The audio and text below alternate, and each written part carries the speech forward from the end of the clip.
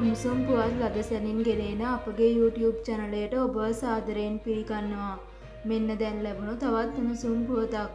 තංගල්ල මොරකෙටියාර ප්‍රදේශයේ නිවසක සිටි කාන්තාවකට ලිංගික අතවර කිරීමට තැත් කළ පුද්ගලයෙකු එම කාන්තාව සිදු කළ පහරදීමකින් ජීවිතක්ෂයට පත්ව තිබෙනවා.